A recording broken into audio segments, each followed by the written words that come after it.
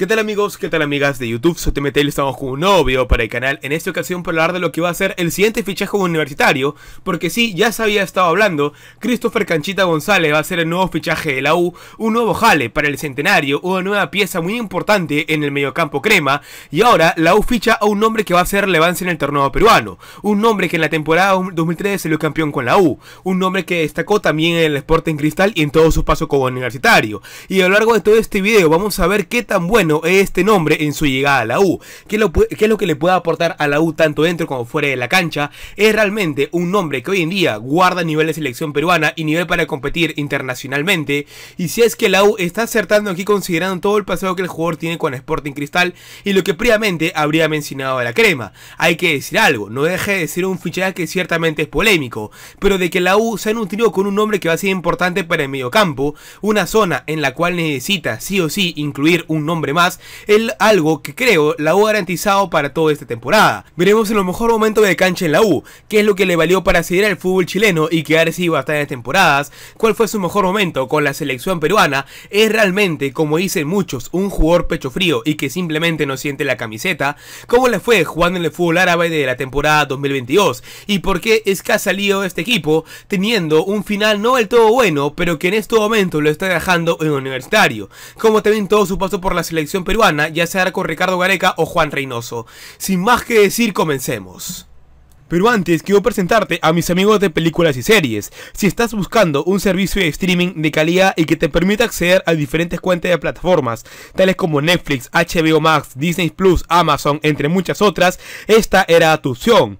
Todo a un excelente precio y buenos descuentos. También si quieres acceder al servicio de IPTV que te va a dejar ver las principales ligas del mundo, todo al alcance de tu mano, tienes el número abajo para que te puedas comunicar con ellos. Tiene muy buenos descuentos y si haces mi parte también vas a recibir uno muy especial. Tienes toda la información ahora en la pantalla o también en la descripción del video. Ahí podrás acceder a todo el contenido y estoy seguro que no te vas a arrepentir.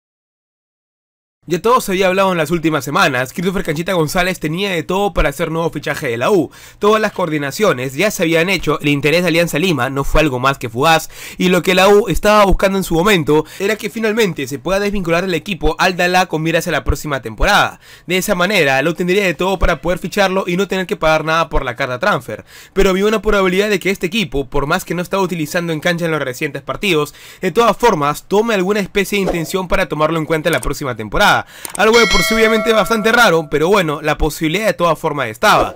Cancha finalmente, en la última temporada, solo le ha dejado a este equipo 11 partidos con 2 goles y 3 asistencias. Estadísticas que se podrían decir no son de todo malas considerando la cantidad de partidos que ha tenido, pero de por sí no ha tenido ni de cerca el protagonismo que este equipo había estado buscando. Es lo que hace que pueda desvincularse y llegar a universitario. La novela ha terminado, ya todo está muy saneado entre el equipo árabe y la representación de cancha para que pueda formar parte de la U. Otro tema que complicaba un poco la llegada de Cancha Tienda Crema era de que Alianza Lima también había hecho una propuesta medianamente formada por Cancha González. Sin embargo, esto no llegó a más puerto, debido a que el técnico de Alianza buscó otras opciones y finalmente ya han tenido nuevos nombres para poblar todo el medio campo.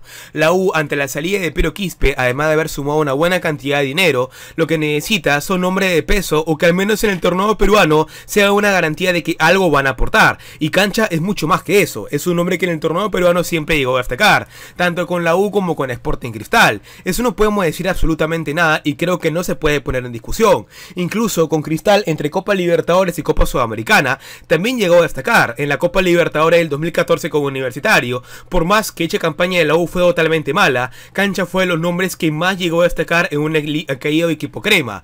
Entre la temporada 2019 y 2022, aparte de haber sumado un título nacional, jugado Copa Libertadores y Copa Sudamericana, entre eso tuvo 96 partidos con 33 goles, mientras que su paso por la U fue uno muy distinto. Salió campeón en la temporada 2013, aparte de haber jugado Copa Libertadores y Copa Sudamericana, en, tuvo 102 partidos con 17 goles, un cancha que debutó para llegar de la temporada 2012, bastante joven, y para 2015 ya iría su primer paso en el fútbol extranjero, exactamente en el Colo Colo, donde llegó a sumar 17 partidos. Di volvió al fútbol peruano en la arte final de 2016 para descender con la Universidad de Cervallejo, jugó apenas 12 partidos, sin ningún ningún gol y Dean se mantuvo jugando en Chile entre 2016 y 2017, temporadas en las cuales, aparte de una lesión y poco protagonismo en la selección peruana, apenas llegó a sumar 14 partidos con un gol. Se podría considerar por lejos el peor momento de la carrera de Cancha González.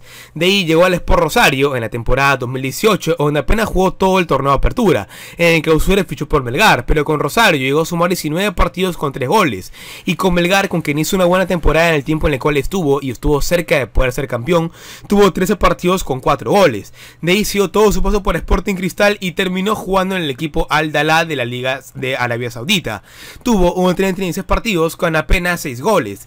Y si hablamos de lo que fue su paso por Sporting Cristal, no cabe dudas que fue un mejor momento de Canchita González, sobre todo en la temporada 2021. Fue donde más llegó a destacar e incluso pudo haber sido campeón nacional. Pero bueno, Cancha fue de esos nombres en Cristal y llegó a marcar una diferencia. Tengo que decir que se ganó rápidamente el cariño del hincha rimense y su rendimiento fue tan bueno que a partir de 2019 Gareca lo volvería a convocar para la selección peruana, manteniéndolo hasta todo el final de su periodo, que sería por allá de junio del 2022.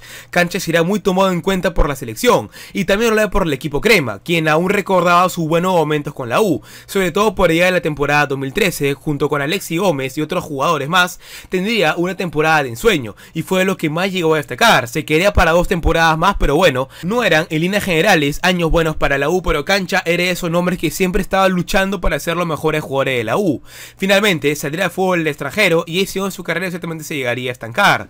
No llegó a destacar más allá de eso, y eso creo yo que es una verdad, no tenemos por qué tapar el sol con un dedo. Con la selección llegó a destacar, incluso fue su campeón de la Copa América del 2019, en la cual Perú tuvo una muy pero muy buena participación.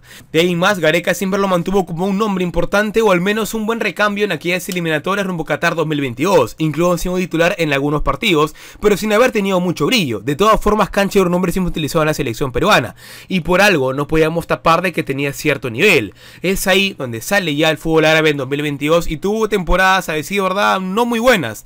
En 2022 tuvo 27 partidos con apenas 4 goles, y en la temporada del 2023 tuvo una temporada realmente mala, apenas 9 partidos con 2 goles. Todos si consideramos lo que ha jugado apenas ese año. Entre lo que va del 2024 ha tenido muy pocos partidos, pero bueno, no podemos hablar mucho de apenas 13 días del año. Cancha en realidad no ha tenido una buena actualidad con ese equipo, sus estadísticas, aunque no son del todo malas, obviamente no son las mejores, y por algo es que va a volver al fútbol peruano. Creo que tampoco para satanizar mucho este regreso. Cancha para el torneo local es un jugador que va a llegar a aportar. Con Cristal lo demostró y creo que no hay ninguna duda de ello.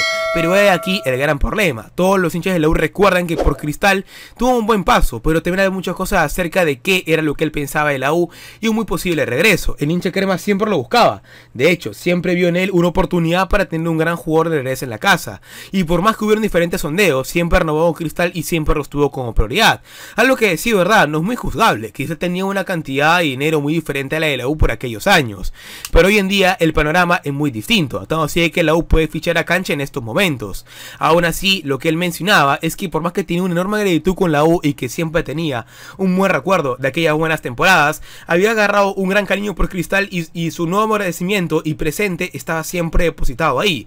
En otras palabras, por más que Lu le portaba y le agradecía por haberlo formado como futbolista, su presente estaba en Cristal y él decide que muchas veces ha querido dedicar diferentes mensajes a este equipo. Eso es algo que si bien es cierto no se puede tapar y de hecho Cancha lo repitió bastantes veces, la U en estos momentos tiene que pensar totalmente en frío. Y pensar que Sello Pero Quispe sea un nombre de diferencia y de mucha diferencia para el torneo peruano y en plano internacional y es necesario de que la U busque jugadores con un perfil similar.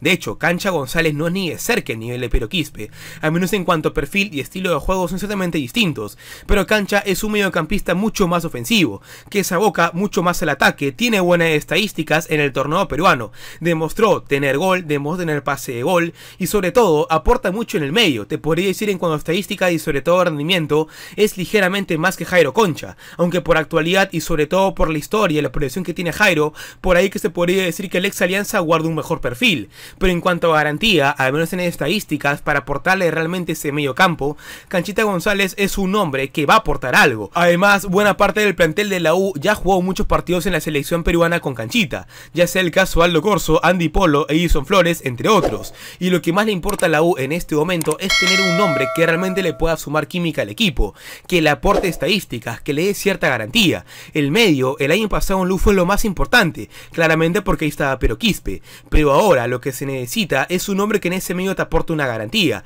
y en el torneo peruano realmente no encuentro otro que te pueda menos garantizar una buena cantidad de goles que no sea Canchita González. De ahí más todo el pasado con Sporting Cristal, si bien es cierto, es algo que está en la obligación de tener que redimirse, ahora que va a aportar y va a estar el año más importante de la historia de la U como el Centenario, y que tiene la posibilidad de ser bien campeón, tiene que hacerlo rápidamente. Recordemos algo, Cristal no es el clásico rival de la U, Cristal no es el rival de la U en toda la historia, es simplemente un equipo más, un equipo competitivo, un muy buen equipo, un buen rival para todo el torneo, pero nada más que ello, distinto fuera la historia y se basara totalmente en cuanto a la rivalidad de la U y Alianza.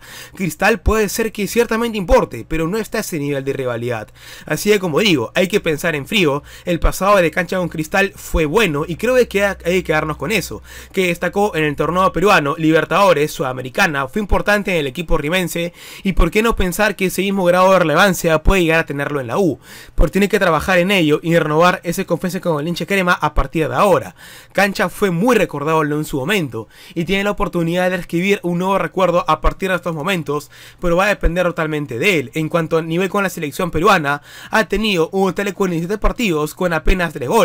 Un promedio bajo, pero bueno, lo que importa es que siempre ha estado presente en la selección y el nivel de rosa internacional también lo ha tenido. En cuanto a su palmarés es bastante bueno, ha ganado dos títulos nacionales con Cristal y en la U en la temporada 2020 y la temporada 2013, un torneo de apertura con el Colo Colo, Supercopa de Chile con el mismo equipo, la primera división en la temporada 2017, el clausura con Belgar, el apertura con Cristal y una Copa Bicentenario. Como digo, si la opción está y sobre todo no tienes que pagar una buena cantidad de dinero, la U tiene que aprovechar lo más pronto posible, pensar con la cabeza fría y bueno, lo que pasó en el pasado ya está. Ahora Cancha tiene la obligación de escribir nuevamente una historia muy buena con la U. Llegando al centenario y sabiendo que en el medio va a ser un hombre relevante y que va a tener una buena cantidad de minutos, que más que simplemente quedarnos con ello y pensar de cancha, va a ser un hombre que algo le va a aportar a la U. Es una garantía que en este momento tenemos que empezar a analizar. Y bueno, si en algún momento él fue feliz con un equipo grande, porque finalmente no volver a hacerlo. Eso ha sido todo por esta ocasión, espero que el video te haya gustado.